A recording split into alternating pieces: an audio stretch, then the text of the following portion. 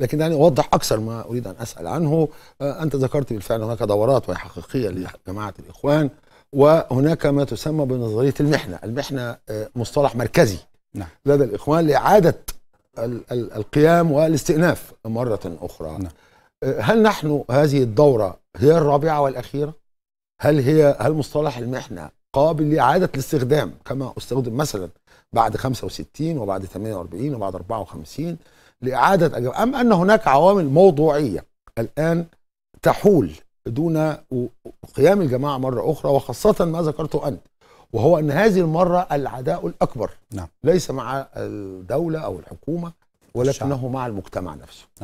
ال- الحقيقة آه، يعني عشان ن- أوضح بس اللي أنا كنت أقصده أنا كنت أقصد إن الإخوان بتبدأ وبتنتهي في دورة البعض بيظن إن بعد انتهاء الدورة دي ربما يعني كانت الضربة القاصمه للإخوان وبتبقى في دلائل وإشارات إلى إنها بالفعل انتهت لكنها بتعيد نفسها مرة أخرى.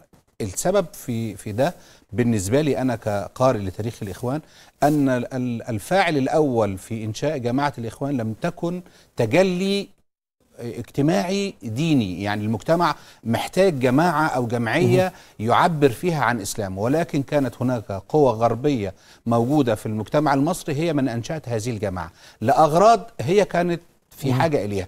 أبسطها و و و و وأسهلها. زي ما قال هو نفسه حسن البنا في اللائحة لائحة ال ال الإخوان سنة 1930 إن الهدف منها مواجهة الإلحاد المقصود بيها ال ال الانتشار الفكر الشيوعي اللي كان موجود في ال- الدولة ال- المصرية في مطلع ال- العشرينات والرؤية اللي اللي كانت بعد انتصار الثورة البلشفية وفي تمدد للفكر الاشتراكي والى اخره فكانوا حابين إن هم يوقفوا ال- المنظومة دي. اذا هناك آه، قوة غربية آه، آه، استخدمت الإخوان في بداية النشأة. في كل مرحلة من المراحل اللي بتبدأ فيها دورة الإخوان مرة أخرى في الانتعاش كنا نلاقي دايما هناك إرادة غربية في نشأتها. توافقت مع الإخوان توافقت مع رؤية الدولة وقتها أو السلطة أو رجال الحكم ده قصة تانية. لكنه في. في دايما هناك رؤية غربية. هل هي قائمة ال- الآن؟ ال ال من. أنشأ الجماعة ما زال يريد استخدامها حتى اللحظة. هناك صراع بؤر في في في العالم بي- بيدار فيها صراع معين محتاج ايديولوجيا دينية علشان يأجج الصراع ده. ال ال الخطاب الإخواني في اللحظة اللي النهارده اللي بنتكلم فيها لا طبعا لكنه بيجهز للخطاب ده خطاب آه، آه، متعصب ديني متعصب يحتاج فيه الجماعة دي. هل إحنا هنوافق؟ طبعا أنا ما أتمناش إن ده يحصل.